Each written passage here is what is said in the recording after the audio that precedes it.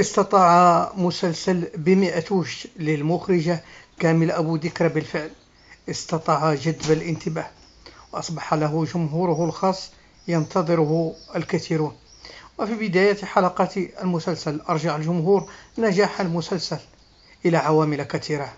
أهمها بعد الكتابة المتميزة لأحمد وائل وعمر الدالي وإخراج كامل أبو ذكره وهو فريق التمثيل الذي يرأسه آسر ياسين ونيليلي كريم ويضم بجانبهم العديد من المواهب الشابة الذي سبق وتعرف إليها الجمهور العربي من خلال أعمال سابقة من بينهم إسلام إبراهيم شريف دسوقي والوجه المتميز الذي أصبحت صاحبته نجمة هذا السباق المسلسلي دنيا إجلال ماهر.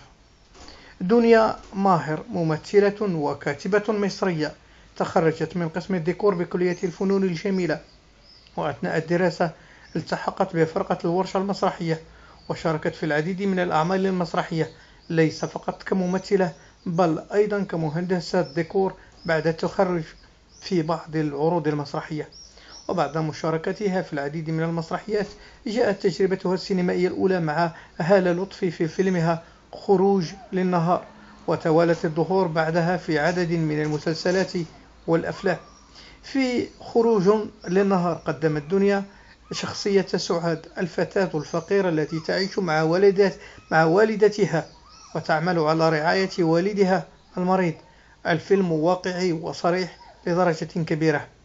يحكي عن بيت لا يختلف كثيرا عن بيوت نراها ونعرفها وحكاية ليست بالغريبة أبدا فيخلف وراءها أثرا باقيا وحقيقيا.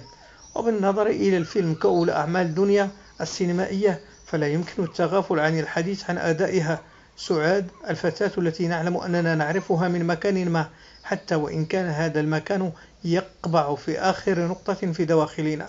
وهنا نجد شخصية ملامح مصرية أصيلة فتاة تنتمي للشارع المصري وهو بدوره ينتمي إليها ويصبح جزءا منها بعدما أصبحت بأصالات الشارع ذاته تابعت مسيرتها في التقدم بظهورها عام 2014 مع كاملة أبو ذكر المخرجة لأول مرة في فيلم سجن النساء بجانب كل من نيلي كريم وأحمد توفيق ومحمد فراج حيث قدمت لنا حياة التي تعاني من وسواس قهري من نوع غريب جعلها تقتل أولادها وزوجها خوفا عليهم من الأمراض والأوبئة التي قد تصيبهم مما ترتب عليها دخولها إلى السجن.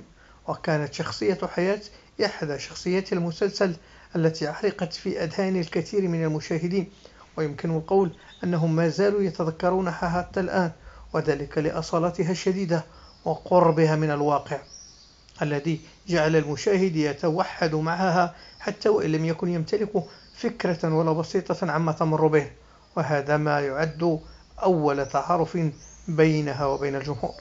بعدها في عام 2015 ظهرت دنيا في فيلمين لحظات انتحارية لإيمان النجار وحار جاف صيفا. فيلم قصير لشريف البنداري قدمت فيهما أداء جيدا مما رشحها للظهور في حلقتين من مسلسل ستيفيا. وعادت للقاء نيلي كريم مرة أخرى عام 2016 بدور عنان في سقوط حر.